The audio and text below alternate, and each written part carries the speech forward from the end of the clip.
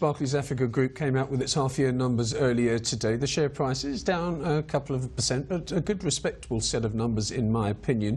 The CEO, Maria Ramos, said the following to accompany these results. She said, our growth strategy is now halfway through a three-year journey, and these results demonstrate that it is working. We have done what we said we would by delivering a strong performance driven primarily by the turnaround of retail and business banking through targeted growth and cost reduction. We are successfully growing in our chosen areas. Maria Ramos joins us now from our JSE studio. Maria, sort of a measured, austere, and even modest uh, statement to accompany these results, but I suppose appropriate given the numbers. For example, dividend up 13%, diluted headline earnings up 11%. Oh, well, good morning or good afternoon, Lindsay. Yes, I think the, the, the results we produced today are good results. In fact, you know, we could go as far as saying they're strong results. They, we're halfway through our strategy. Our retail and business bank is, you know, exactly where we wanted it to be. We've got strong growth in customer numbers. In fact, our customer numbers are up just under half a million uh, for the half year. We've seen good growth in our home loans business. June was our strongest month for about seven years now, actually. Headline earnings are up 11% to 6.8 billion rand. Our return on equity at 16.4% is up on last year for the same period. So a good, strong set of results outside of South Africa. Our, our business is going from strength to strength. There's more to do. And then in other core parts of our strategy, like our corporate bank, where we want to grow both in South Africa and outside South Africa. In South Africa, we've seen strong growth in headline earnings in our corporate bank, and we've got more to do outside South Africa. And then, of course, our insurance business, our wealth investment, manager, investment management and insurance business, we've seen good, yeah. solid headline growth in earning, headline earnings growth of 14%. So good. I'm pleased with the set of results that we have achieved for the six months, and our strategy is well on course.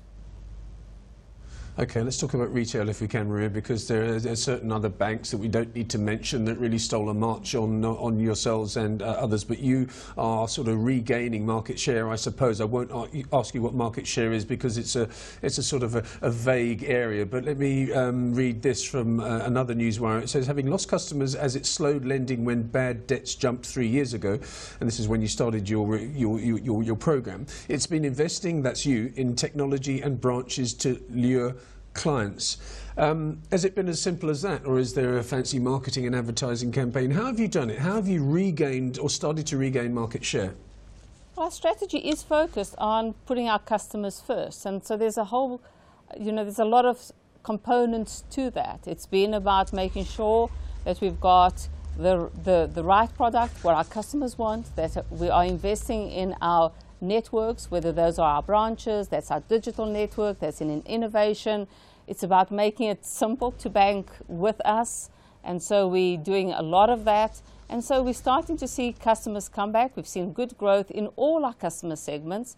And we also started to see the, uh, the metrics that measure customer satisfaction improve, and those have improved significantly, actually, particularly where we've made the investments into into new branches.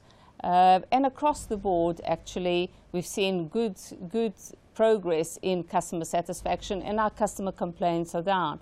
So this is really about making sure that we can continue to deliver that customer proposition and the customer service that customers out there are looking for. Credit impairments down by 1%, which is a small amount, uh, but uh, I still suppose in the big scheme of things uh, material, and it's a downward trend, which is very good. Um, Africa growth, out of South Africa, Africa growth doubled the growth in South Africa. How confident are you that you can keep that up? It must be quite exciting to see 22% versus uh, not a pedestrian, but a, a less, um, a more respectable 11% in South Africa.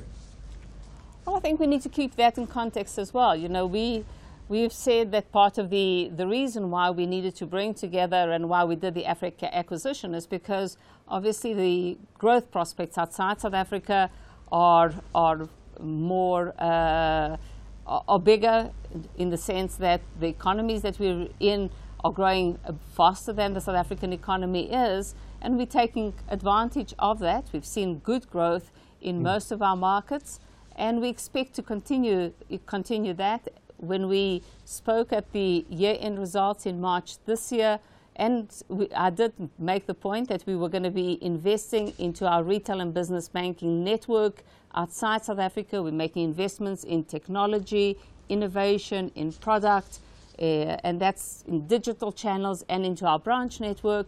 And that those investments are going in.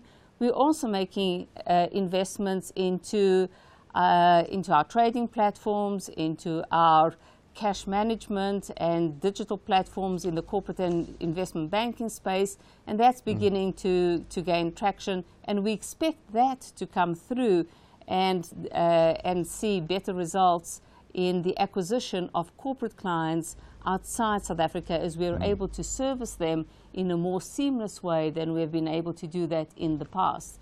And then, of course, in our wealth and investment management and insurance business, we've been expanding into uh, across the continent, and we've just done an acquisition which is just pending regulatory approval in East Africa, in Kenya yes. and Tanzania.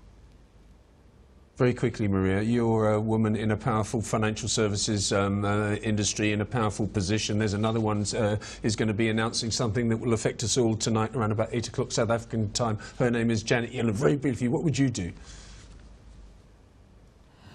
Oh, you know, it's, it's, it's always very, very difficult. I, you know, I, I, I think that, um, you know, she's been quite, you know, I think she's given a lot of indication about what the trajectory where she would like uh, policy rates to go. If I think I think if I was in her position, I'd probably take the plunge and and and, and push rates up. But it's always very difficult to do. Mm. I know they're very data driven, and I think they'll make the right decision given what the numbers look like in the US. I hope she's listening. Maria, thanks so much for your time this lunchtime. That's Maria Ramos, the CEO of Barclays Africa.